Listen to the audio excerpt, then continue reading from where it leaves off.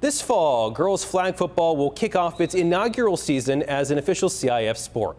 As ABC 10 News reporter Steve Smith tells us, the girls will be prepared thanks to a new and rocking football league that is positively San Diego. There's a relatively new flag football league in San Diego for girls ages 7 to 17, and you have to love the name.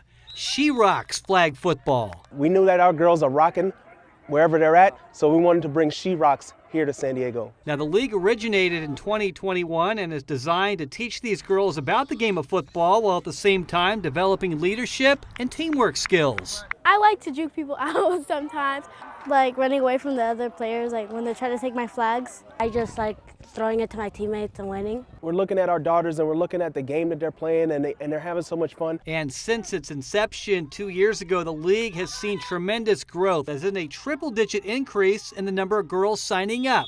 So we had nine girls in our first season, uh, the next season 56, and now we're up to over 100. So from the first season to now, 700% increase in girls playing flag football here in San Diego. Football is relatively new to some of the girls out here. They know the object of the game to score touchdowns. Maybe the most difficult part so far learning the plays. We'll, we'll, simplify it and make sure the girls pick it up, and it's just practice. It's just a process. Got these uh, wristbands right here with the plays and everything already, you know, to make it easier for the kids and stuff like that. And starting in the fall, girls flag football will become a CIF sport. So this league is the perfect training ground. Better for girls to do this now.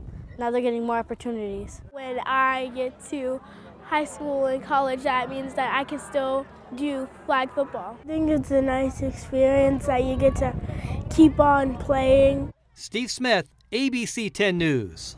She Rocks Flag Football is a nonprofit organization and provides scholarship money for those who may not be able to afford the $125 sign-up fee.